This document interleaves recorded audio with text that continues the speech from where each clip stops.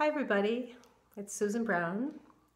How are we all doing today in this time of too much, too fast? Well, um, I'm going to just get right down to it um, today in this video, my third video. I'm going to pull a card for us from the Dakini deck. And the Dakini deck is um, 30 cards based on my oil paintings that I made.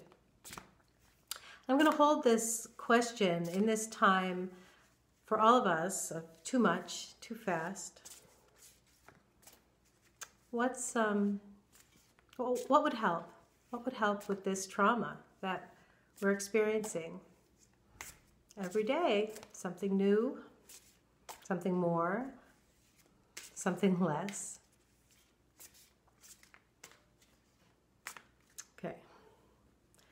So I'm going to fan the cards out.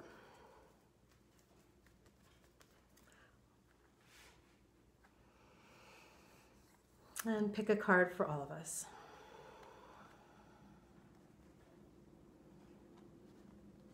The wind really picked up outside. Ha! Wow. Responsibility.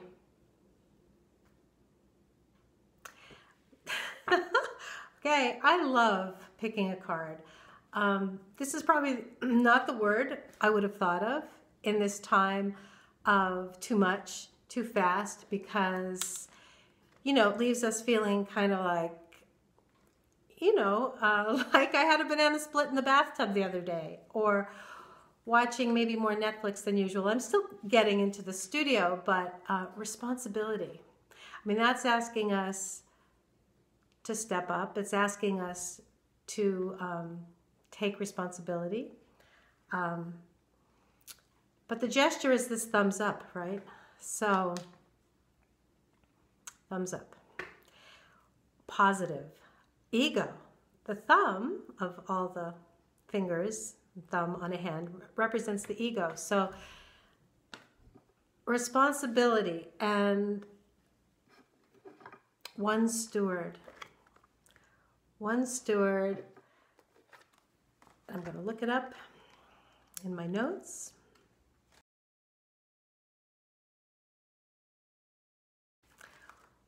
One steward managing contradictions.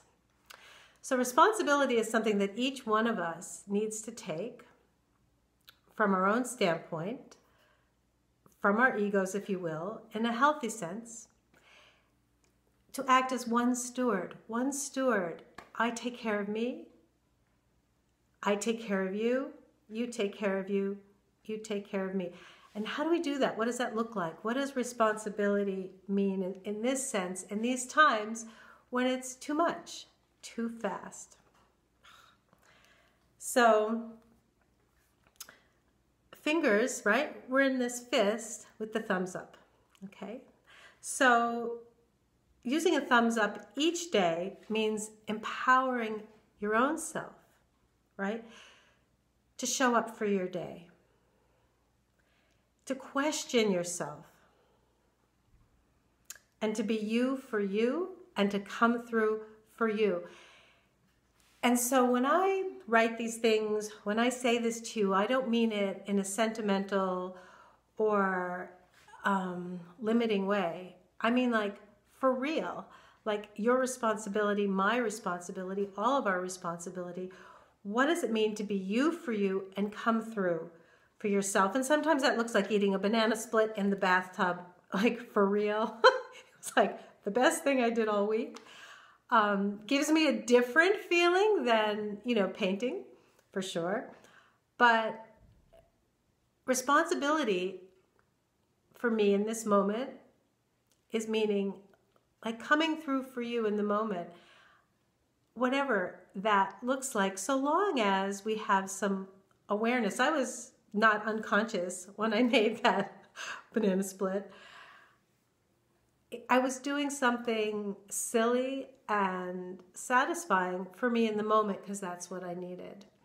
And then in other moments when I'm showing up for me, I'm I'm working on you know, my painting or or I'm informing myself about these times, right? So it's going to look different for everyone depending whether what you what your job is, if you have children, if you don't have children, you know, staying at home, it, it, it looks different. But the important thing is that we're showing up for you, for yourself. And here's what I wrote disciplined action in the midst of surprise and unusual events requires clear sight. These are unusual events. Clear sight. What does that mean? You know, does it mean I have my glasses on? Does it mean insight from within? Does it mean, you know, uh, inspiration from outside of ourselves? And I think it's all three. You know, one thing that I think I know I forget, and I think most of us forget, you know, we talk about body, mind, spirit, right? Go for a run, uh, read something uplifting, you know, connect with your higher power or a higher power as you perceive it. But the thing is, all of those three things are always happening all at once.